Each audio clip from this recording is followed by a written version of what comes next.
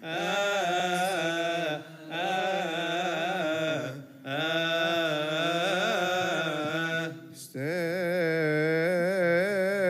up in the fear of God and listen to the Holy Gospel. A chapter from the Holy Gospel according to our teacher Saint Mark the Evangelist. May his blessing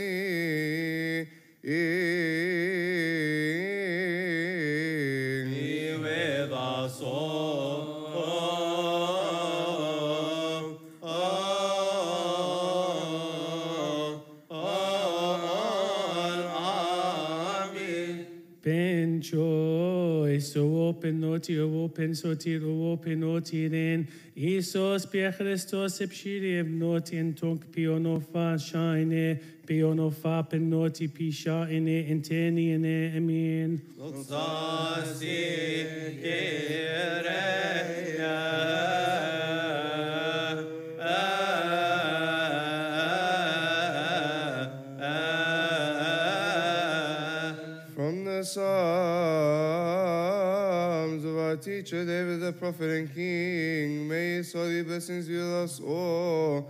All amen. The heavens are yours, the earth is also yours, the world and all its fullness.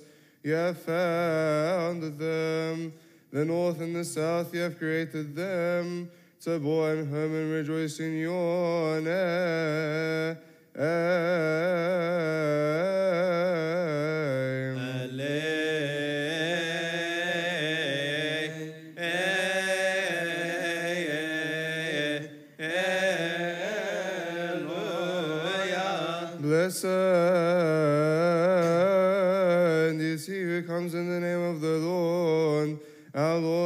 God, Savior and King of us all.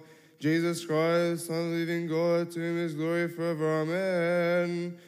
Now, as he sat on the Mount of Olives opposite the temple, Peter, James, and John and Andrew asked him privately, Tell us when these things will be, and what will be the sign when all these things will be fulfilled. And Jesus answering them began to say, Take heed that no one deceives you, for many will come in my name, saying, I am he, and will deceive many. And when ye hear of wars and rumors of wars, do not be troubled. For such things must happen, but the end is not yet. For nation will rise against nation, and kingdom against kingdom. And there will be earthquakes in various places, and there will be famines and troubles. These are the beginnings of sorrows, but watch out for yourselves. For they will deliver you up to the councils, and you will be beaten in the synagogues. And you will be brought before rulers and kings for my sake, for a testimony to them. And the gospel must first be preached to all the nations. But when they arrest you and deliver you up, do not worry beforehand or premeditate what you will speak. But whatever is given you in that hour, speak that. For it is not you who speak, but the Holy Spirit. Now, brother will betray brother to death, and the father his child. And children will rise up against parents and cause them to be put to death. And you will be hated by all men for my name's sake. But he who endures to the end shall be saved. But when you see the abomination of desolation spoken by Daniel the prophet, standing where it ought not, let the reader understand. Then let those who are in Judea flee to the mountains, and let him who is in the house housetops not go down into the house, nor enter into anything out of his house.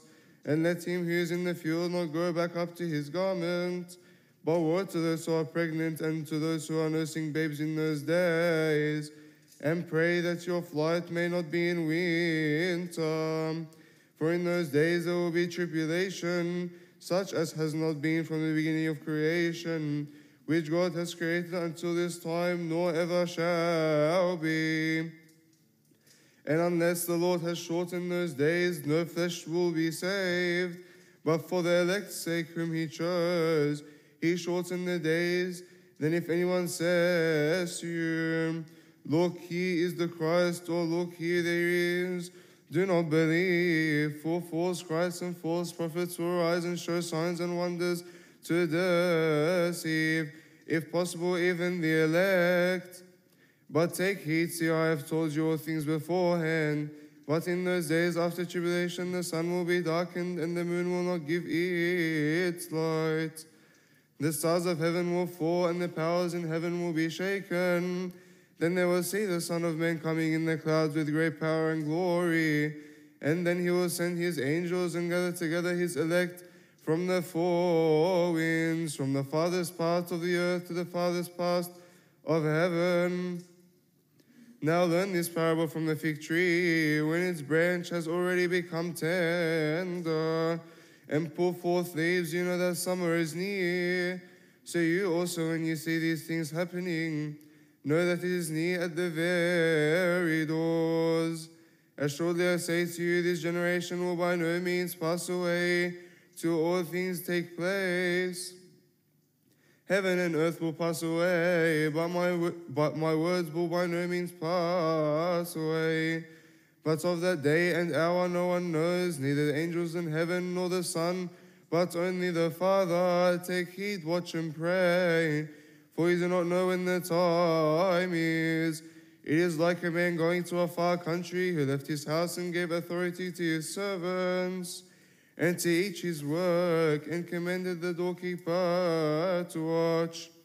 Watch therefore, for you do not know when the master of the house is coming, in the evening, at midnight, at the crowning of the rooster, or in the morning, lest coming suddenly he find you sleeping. And what I say to you, I say to all.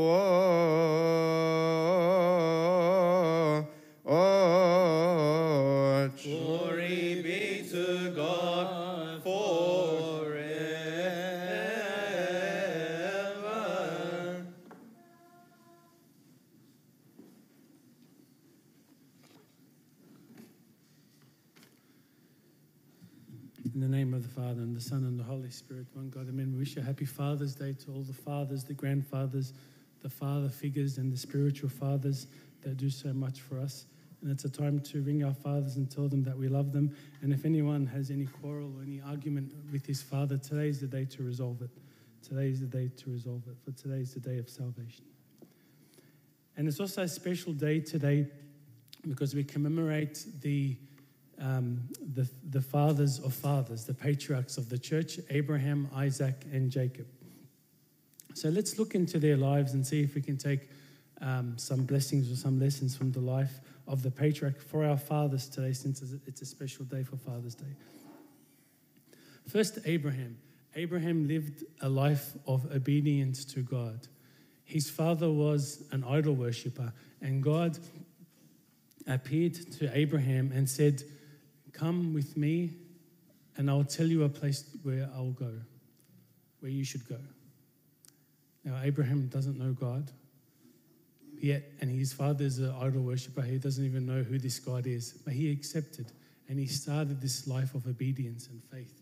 And not only him, he took his whole family and his household and his nephew and everything they owned. So, everything they owned and went with, uh, with God to a place where they don't even know. That was the beginning of the life of faith of Abraham, the beginning of the life of faith. And for us as an application, faith is the most important gift you can give to your children. What are we transferring to our children at home? Are we transferring um, love, hope, prayers? Are we giving them, are we teaching them about the saints, about St. Mary? Are we teaching them about the beautiful saints of our church and all the, all the feasts of the church? Or are we transferring other things to them, um, like fighting at home? If, do we fight with our husbands, fight with their wives, or swearing, or gossiping, or the lack of faith? What are we transferring to our children at home? Transfer, transfer to them the life of faith, because the life of faith is the most important gift you can give to someone. It's not money, it's not um, grand houses, it's not cars, it's not private schooling. It's nothing other than faith is the most important thing. So when they go into the world, they're strong and have the tools of faith to conquer. And what about Isaac? He lived a life of sacrifice. As we know, he took the wood on his shoulders and went to be sacrificed. And a lot of times we speak about Abraham um, with the life of faith and we say, well, Abraham was ready to sacrifice his son. But sometimes do we consider Isaac? Isaac also was aware of what was going to happen. And it may have been worse for Isaac because Abraham knew that God had promised that through Isaac all the nations would be blessed and his children would be like the stars of heaven. So Abraham thought that even if Isaac was slaughtered, God will resurrect him. That was his faith. But Isaac, did he know that? Did Isaac know? Did Abraham share it with him? When Isaac was on that altar about to be slaughtered, I would say he accepted his fate. He accepted that this was the sacrifice God wants. He lived that life of sacrifice. So it would have been difficult for Isaac to accept, but he did accept it. He lived that life of sacrifice. And likewise, the father of the family is considered the priest of the family, is considered the leader of the family, not a leader to break anybody, but a leader to serve his wife and his children, the priest of the family. So the, the, the father should sacrifice for his wife and his children. Sacrifice what? Even simple things. On Sunday morning, it might be your only morning to sleep in, but your children are at home and they want to come to church. Or even if they don't want to come to church, we push them to come to church so they can uh, get the life of faith that we just talked about. Come with us. Come with us so when you're older, you may learn how to love and to live uh, with Christ. Okay? Or does the father give time to the children at home? Or is he stuck on his phone scrolling? Does the father give quality time to his children? Or is he stuck in his work saying, I need to get more money to build, to build, to build, and to provide for my family so much?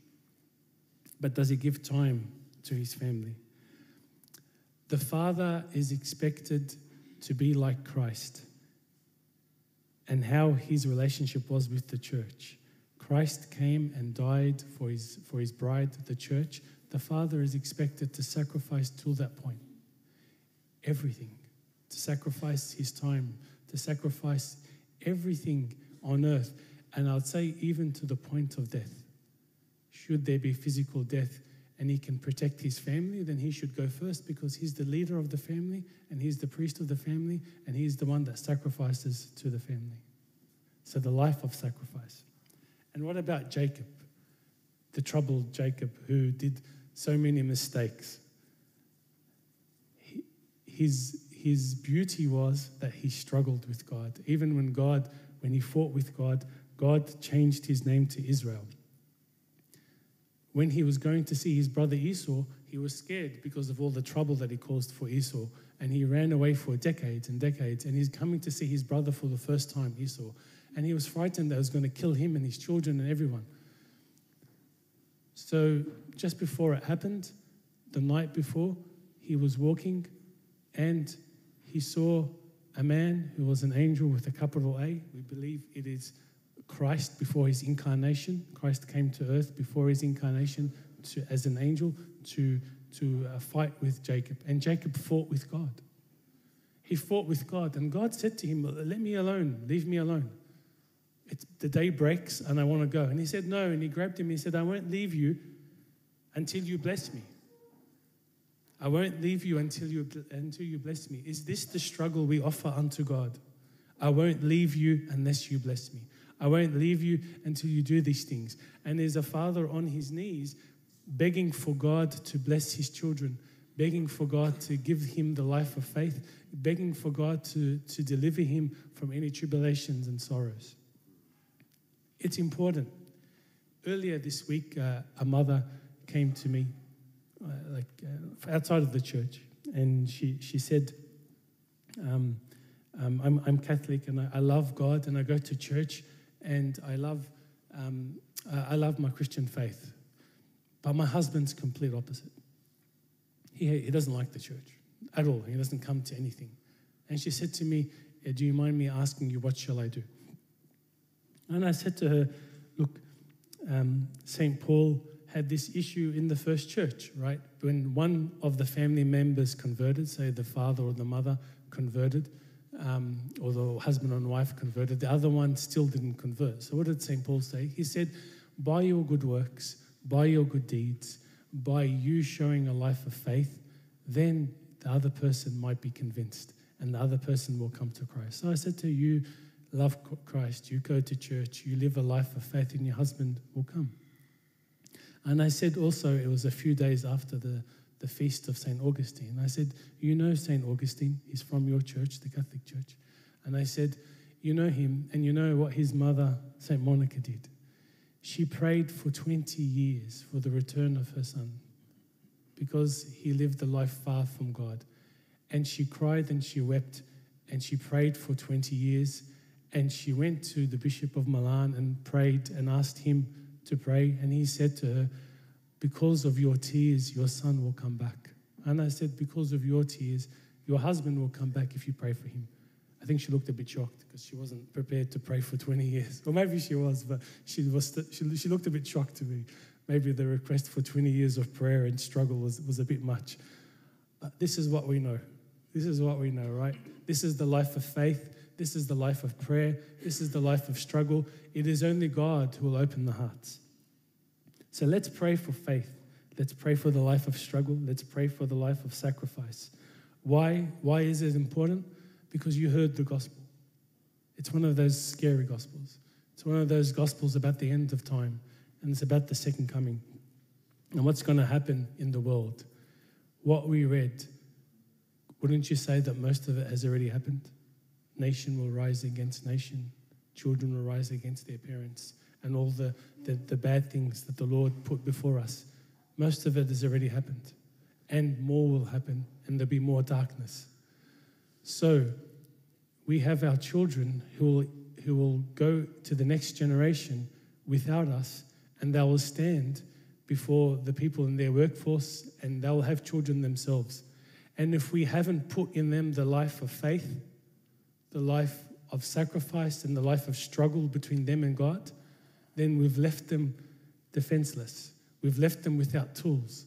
We've left them naked in faith, and they won't know what to do. But the one who is strong in faith, the one who's been born into the church that, that comes every week, more than once a week, comes and attends the youth meeting, the Bible studies, the Sunday school, the liturgies, the nahatas, and all that, becomes strong in faith, the children will learn. Just bring them to church and they will learn. Teach them faith, pray at home with them, read your Bible, have let them fast as they go. Teach them the life of fasting. Don't forget the Wednesday and Friday fasts and all the fasts of the church. If they're small, get them to do small fasting you know, get them to be trained in that. And so they can grow in the church. So when the time comes, when they go into the world, you say, I've done what I can. They're in God's hands and they're strong in the faith and they know God. They have a relationship with Him in their hearts and they have a defense against the world that is crumbling around us. And glory be to God forever and ever. Amen.